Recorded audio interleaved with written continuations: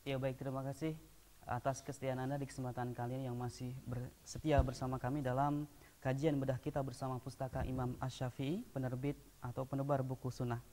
Uh, di kesempatan kali ini bedah kitab kita adalah uh, buku ensiklopedi larangan berdasarkan Al-Quran dan juga As-Sunnah.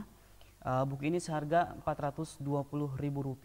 Anda bisa memesannya di nomor 0812 1108 208 atau juga Anda bisa uh, mencek langsung di website pustakaimamsyafi'i.com.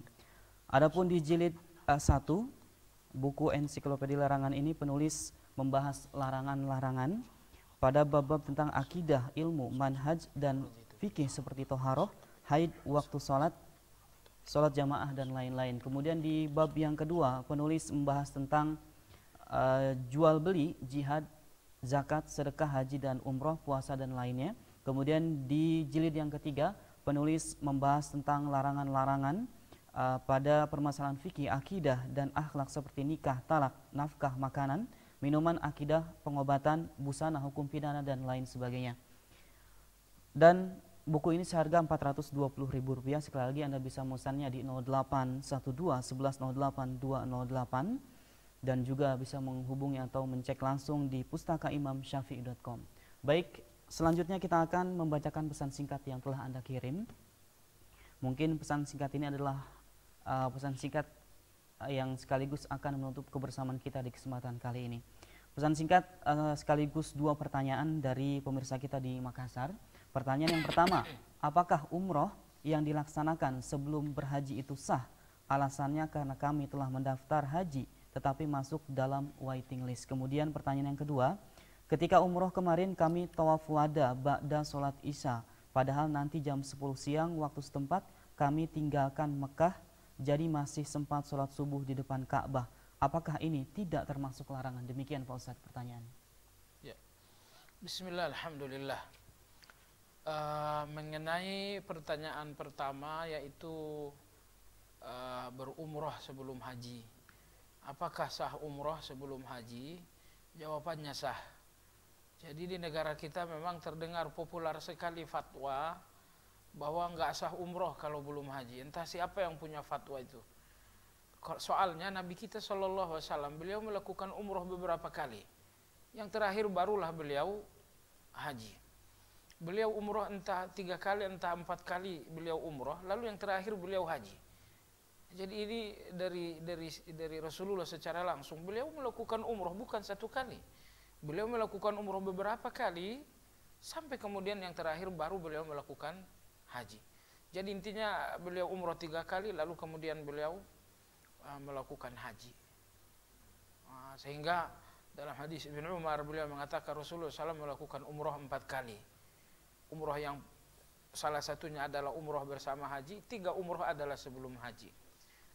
Nah, sehingga demikian, dengan demikian bahwa umrah sebelum haji itu tidak terlarang. Enggak makruh, apalagi haram. Apalagi dikatakan umrahnya enggak sah kalau belum haji. Nah, ini semuanya keliru ya. E, kemudian pertanyaan yang kedua bahwa dilakukan tawaf wada setelah Isya. Kemudian baru meninggalkan Mekah esok harinya jam 10 ah, ini tawaf wadaknya keliru. Itu bukan tawaf wadak yang pas. Tawaf wadak sesuai dengan namanya adalah tawaf perpisahan. Setelah tawaf, langsung pergi, langsung meninggalkan Mekah. Ah, kalaupun ah, berhenti sebentar nggak ada masalah. Tapi bahwa kemudian tidur dulu, masih sempat belanja ke sana kemari. Isa sampai jam 10 Isa sampai jam 10 esok pagi itu terlalu lama itu. Nah, sehingga tawaf wada tersebut tidak sah. Nah, karena tawaf wada itu harus bersambung dengan keberangkatan meninggalkan Mekah.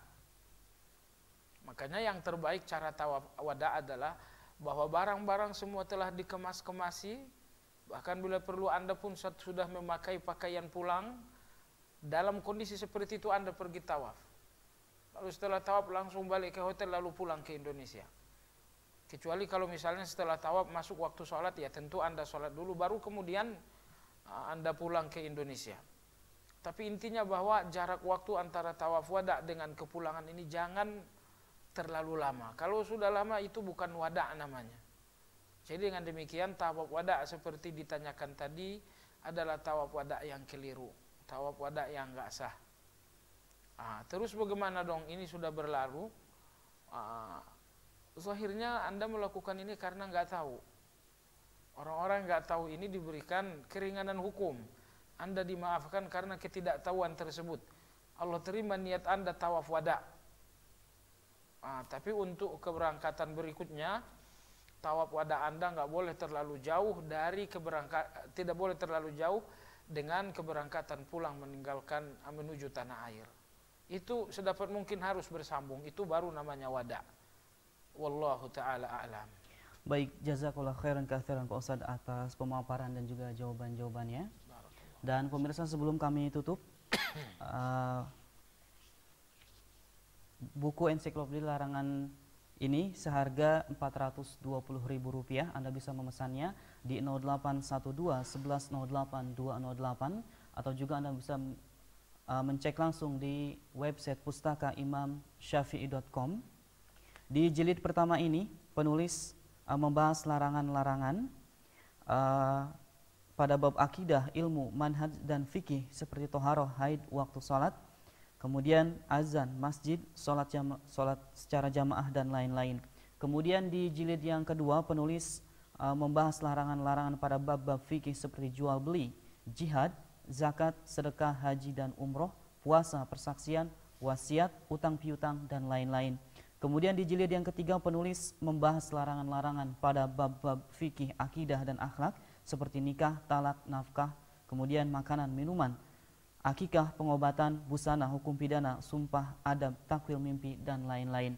Ya, pemirsa pada akhirnya saya Faraday dan juga narasumber kita di kesempatan kali ini Ustaz Syariful Mahya Lubis MA pamit undur diri dari hadapan Anda. Kita tutup kajian kita dengan doa kafaratul majlis. Subhanakallahumma wa bihamdika asyhadu alla ilaha illa anta astaghfiruka wa atubu ilaik. Wassalamualaikum warahmatullahi wabarakatuh.